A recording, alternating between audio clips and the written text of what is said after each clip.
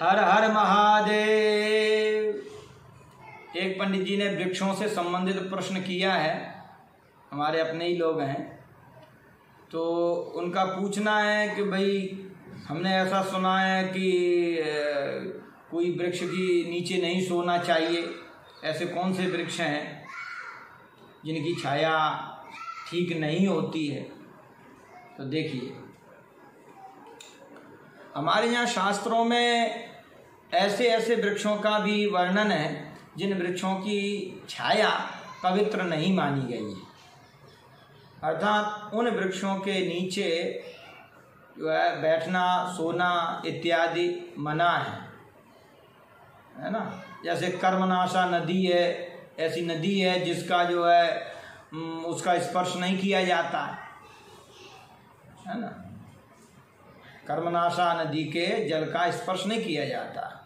तो नदियाँ तो सब बड़ी पवित्र हैं। पूजन तो उसका भी होगा, पर उसमें स्नान करना, उसको छूना मना है। इसी प्रकार से वृक्ष भी है तो कुछ वृक्ष निषिद्ध हैं। यद्यपि वृक्षों में भी ब्राह्मण, क्षत्रिय, वैश्य ये सब होते हैं, इस पर भी चर्चा करेंगे हम कि भैया ये जो जाति है, वर्ण है, वो सब में होते हैं। इस पर विशेष आपको मिलेगा सुनने को। मुख्य बात ये है, कुछ वृक्ष निषिद्ध हैं, जिनका स्पर्श करना, जिनकी छाया में बैठना मना किया गया है। देखें, एक जो है वृद्ध गौतम स्मृति के आठ निन्यानवे, आठवें अध्याय के निन्यानवे श्लोक के रूप में जो है कहा गया है कि विभीतक करंजानाम छायाम दूरात्व वर्जये। इनकी छाया दूर से ही त्याग देनी चाहिए। बिल्कुल इनके नीचे से निकलना नहीं चाहिए। कौन सी? बोले, विभीतक, मान बहेड़ा। ये जो त्रिफला में हर बहेड़ा और आमला ये तीन होते हैं तो इनमें जो बहेड़ा है, इसका संस्कृत में नाम है विभीतक। तो विभीतक के वृक्ष के नीचे नहीं बैठना चाहिए। उसकी छाया दूर से ही त्याग देना चाहिए। विभीतक करंजा नाम। करंज माने होता है ये कंजी। एक कंजी का पेड़ होता है, वो बड़ी छाया, उसकी घनी होती है, लोग उसको लगा रहे हैं, उसके नीचे घरों में भी लगा रहे हैं, अपने परिसर में लगा रहे हैं, पर निषिद्ध है, ध्यान देना। करंजा नाम छायाम दूरात तु वर्जये। विभीतक, यानी बहेड़ा और कंजी, इनकी छाया में नहीं बैठना चाहिए। दो तो ये हो गए। और देखिए, विभीतक और करंजी की छाया सदा परिवर्जित करना माने दिन में, रात में, दूर से ही त्याग देनी है। कभी भी उसके पास नहीं, उसके नीचे बैठना है। एक बार कुछ वृक्ष ऐसे हैं जिनकी छाया दिन में नहीं लेनी है, रात में उसके नीचे आप जो है बैठ सकते हो। क्योंकि उसमें स्पष्ट लिखा है देवा। ऐसा कौन सा वृक्ष है?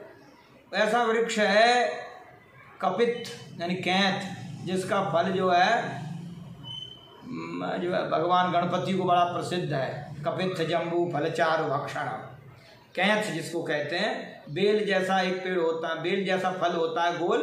कैंथ जिसको कहते हैं, खट्टा होता है। उसकी छाया में नहीं बैठना है दिन में। ये लिखा, बोले, कहाँ लिखा है, देख लीजिएगा आपको, इसका बड़ा प्रमाण दिया गया है। लघु संख्य स्मृति में जो है अड़सठवें श्लोक के रूप में। और दाल स्मृति में यही श्लोक एक श्लोक के रूप में। और अति संहिता में तीन सौ पंद्रह श्लोक के रूप में ये श्लोक दिया गया है। क्या है श्लोक? कि दिवा कपित्थ छायासु रात्रौ दधिसमीषु च। धात्री फलेषु सप्तम्या, मलक्ष्मीर्वसते सदा। अगर कोई इनके वृक्षों, इन वृक्ष के नीचे या इसमें जो श्लोक में बताए हुए कार्य को करता है तो अलक्ष्मी बसते सदा। उसके यहाँ अलक्ष्मी यानी दरिद्रा देवी डेरा डाल लेती हैं, सदा बसते, सदा बसने लगती हैं दरिद्रा देवी। क्या? बोले, दिवा कपित्थ छायासु। दिन में कैथों की छाया के नीचे, कपित्थ की छाया के कैथ की वृक्ष की छाया में जो रहता है, दिवा। रात्रि की बात नहीं, दिवा कपित छाया और रात्रौ दध समीषु च। और रात्रि में कोई दही खाता है, रात्रौ च दध भक्ष्यम च। शयनम और दिने, रजस्वला स्त्री गमनम मेतन नरक कारणम वो नरक में जाने का कारण। रात में दही नहीं खाना चाहिए। स्वास्थ्य की दृष्टि से और धर्म की दृष्टि से दोनों से ही निषिद्ध है। रात्र दध समीश उचर और शमी वृक्ष के पत्ते शमी वृक्ष की जो फली होती है, वो खाना इत्यादि करना तो निषिद्ध है ही। वो शमी वृक्ष के पत्तों को रात्रि में देवता पर नहीं चढ़ाना चाहिए। अथवा रात्रौ शमी सुचा एक इसका ये दूसरा अर्थ ये भी है कि दिवा कपित छायासु, रात्रौ शमी सुचा ध्यान देना।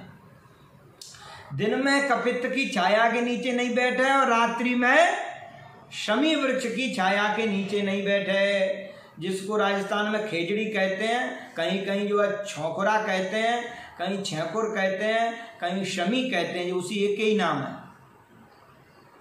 जिसमें कांटे होते हैं, जिसकी शमी, जो शनि देवता के निमित्त तो उसकी आहुति गिरती है, हवन में यज्ञ वृक्ष है। लेकिन उसकी छाया जो है, रात्रि में परिवर्जित करना, रात्रि में उसकी छाया के नीचे नहीं बैठना चाहिए। है ना? रात्र दध समीशु चा। दही को खाना और शमी का सेवन छाया के रूप में करना। या उसकी वृक्षों, पत्तों को चढ़ाना, या उसकी फली इत्यादि को खाना इत्यादि। ये सब लग जाएगा। और धात्री फलेशु सप्तम्या सप्तमी, कहीं कहीं रविवार भी है। सप्तमी और रविवार के दिन, दोनों पक्षों की सप्तमी हर रविवार के दिन आमले का फल नहीं खाना चाहिए। ठीक है? धात्री फलेशु सप्तम्याम। अगर कोई ऐसा करता है तो लक्ष्मी, अलक्ष्मीर वसते सदा। उसके यहाँ दरिद्रा देवी सदा निवास करने लगती हैं, इसलिए इन कामों को छोड़ देना चाहिए। और देखिए, कहीं बता, बतलाया गया, मरघट के वृक्ष के नीचे भी नहीं बैठना चाहिए। जो नदी के किनारे, बिल्कुल नदी के किनारे आ गया हो कट रहा हो ऐसे वृक्ष की छाया भी वर्जित करना पता नहीं कब गिर जाए। इसलिए ये वृक्ष की छाया भी वर्जित कर देनी चाहिए। तो बहुत सी ऐसी छाया है तो जहाँ हर जगह, हर छाया में बैठ कर के आनंद नहीं लेना है। कौन, छाया भी शास्त्रीय शास्त्रीय है, ये देखिए। किस छाया पर पैर नहीं रखना है, ये भी वर्जित है हमारे यहाँ।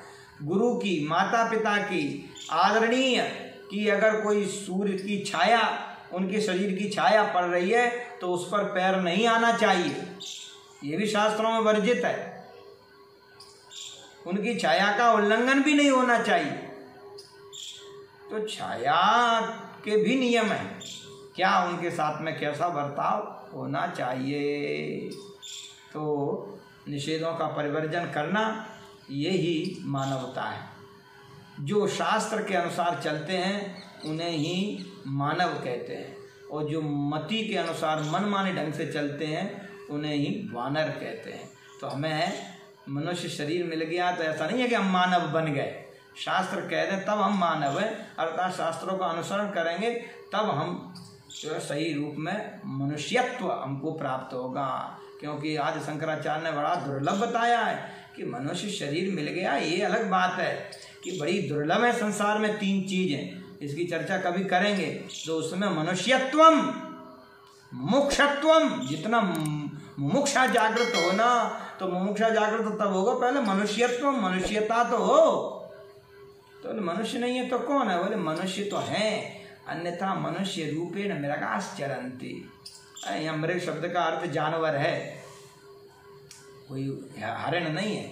मनुष्य रूपेण मृगास चरंती तो वो जो शास्त्र का अनुसरण नहीं करते हैं, वो मनुष्य के रूप में वो जो है पशु ही है।